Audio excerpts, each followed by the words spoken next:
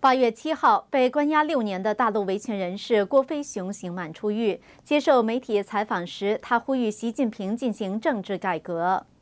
七号上午七点，郭飞雄从广东英德监狱刑满出狱。一个多小时后，接受美国之音电话采访时表示，向习近平、李克强、栗战书三位中国领导人发出郑重的呼吁，请三位领导人在未来三年内为中国有序的政治改革做三件实事。第一件事就是推动全国人大批准联合国公民权利和政治权利国际公约。第二件事是基本放开新闻自由。第三件事是在全中国选一百个县进行县长直选试验。他还呼吁正陷于贸易战之中的美中两国进行深度合作。湖北维权人士孙先生表示，他跟郭飞雄通过电话，他依然坚持为促进社会改革而努力。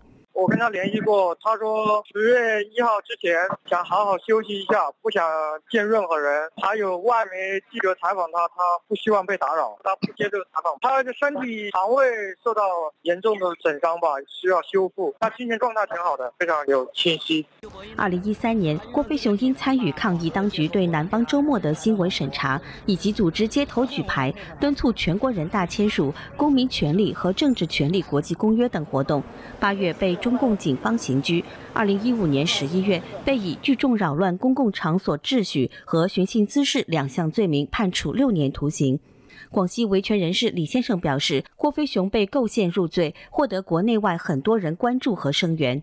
反正他们犯罪，共产党就是对他有威胁，他就抓你。这些主张都是很平和的，中国法律允许的嘛。比如说游行示威啊、言论自由啊、结党结社自由啊，这些他宪法里面都有啊。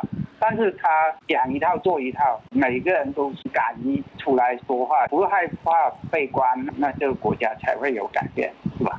一九六六年出生的郭飞雄，本名杨茂东，为著名的人权活动家，曾参与多起维权活动，提供法律援助。因此，自二零零五年起，已四次被当局关押，两次被判刑，共十一年。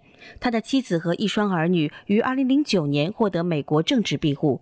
新唐人记者熊斌、陈杰采访报道。